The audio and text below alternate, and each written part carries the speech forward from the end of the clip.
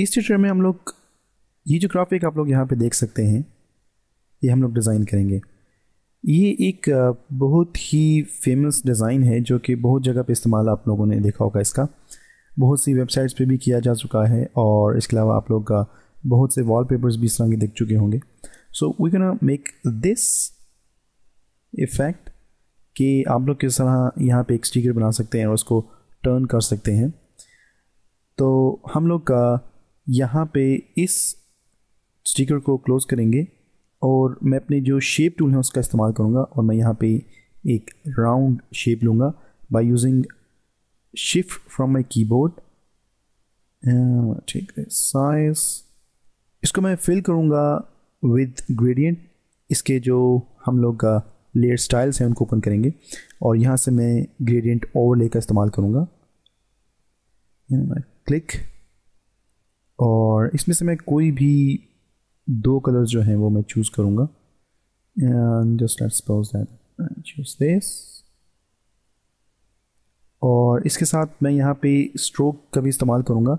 और स्ट्रोक का जो कलर है उसको मैं करूँगा वाइट प्रेस ओके और इसकी जो पोजीशन है उसको मैं करूँगा इनसाइड और इसका जो साइज़ है उसको करेंगे about 18 pixels that's fine and want press okay layer style में हम लोगों ने स्ट्रोक और ग्रेडियंट ओवरले का इस्तेमाल किया है।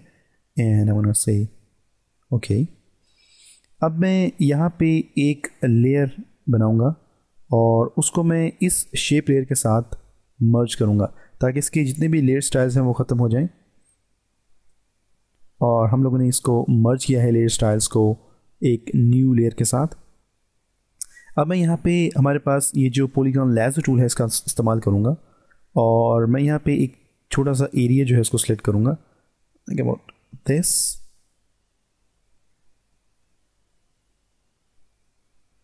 right make sure कि आप लोगों ने यहाँ पे जो सिलेक्शन की है, उसका जो फीदर है that's zero and antialias is checked right अब हमारे पास यहाँ पे एक लेयर है, जो कि हमारे पास स्टिकर है, इसकी लेयर है, और हम लोगों ने इसका जो एक पार्ट है बॉटम राइट साइड से हम लोगों ने उसको सेलेक्ट किया है। Number go to edit cut edit paste और हमारे पास ये जो पार्ट है वो हमें मिल चुका है।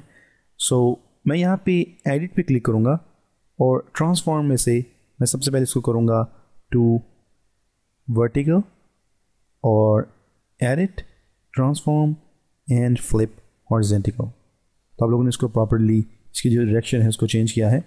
And set it here that's perfect और हम लोगों ने तकरीबन अपनी जो शेप है, उसको मुकम्मल किया है। अब हमें इसमें कुछ शेड्स ऐड करने हैं, जिससे पता चल सके कि ये जो हमारा स्टिकर है, ये यहाँ से उतारा गया था। So one I going to do is I press control from a keyboard और मैं यहाँ पे ये जो हमारा बड़ा पार्ट है स्टिकर का, मैं उसकी लेयर को, उसके जो थंबनेल है उसको क्लिक करूँगा। तो मैंने इसको इस तमाम एरिया को सिलेक्ट किया है। और मैं इन दोनों लेयर्स के सेंटर में यहाँ पे एक लेयर जो है उसको बनाऊँगा।